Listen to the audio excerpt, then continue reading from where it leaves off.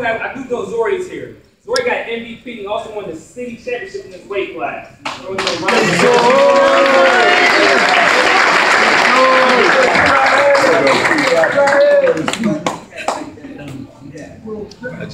Yes. Yes. Thank you. Hey, Zoo,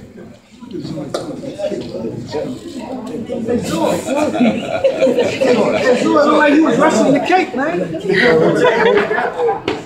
You was wrestling the cake. And now for indoor track, Coach Pat.